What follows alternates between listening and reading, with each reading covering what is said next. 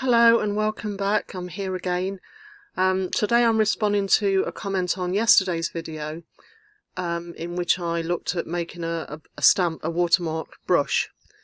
And Martin Tosh asked me, can I can he use that with size consistency as you could with the previous method that I showed you? And indeed you can, um, and I'll show you how to do that now.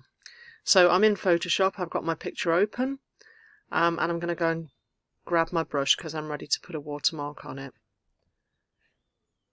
So Sig 1 was the one I used. Okay, let's just get rid of that dialog box so it's not in the way. Um, you remember when you're going to stamp, just pop a new layer on there, Command Shift N for new layer, um, and you can stamp onto the layer. Now obviously this signature is quite large for this picture, so I would want to resize it and I do that with my left hand bracket, square bracket. But as I do so, if you take note of the number up here, this is the brush size, and it will change. So I'm going to stamp, sorry I'm not going to stamp it, I'm going to resize it. So as I do this, you'll notice that number in the top left hand corner is going down.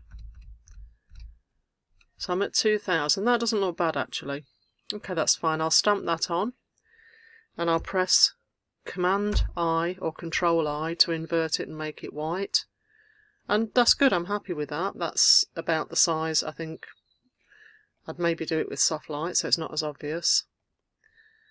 Uh, it's not quite as uh, not quite as bold as it could be. I'll do it with the opacity so I don't lose too much. That'll do. Okay. So size wise I'm happy with that.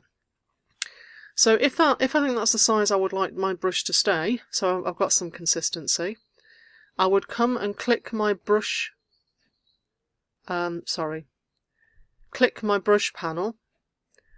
And I'm using Sig 1 at the moment at 2000 pixels.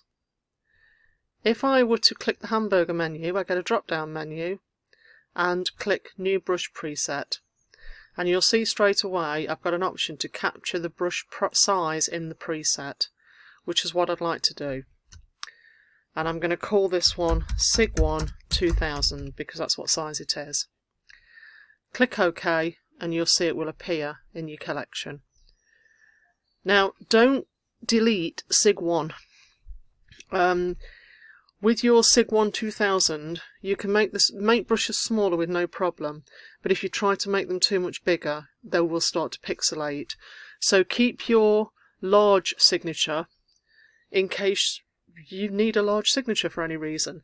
Um, as I say, your small one, if you try to scale it up, it will pixelate, but you can scale it down.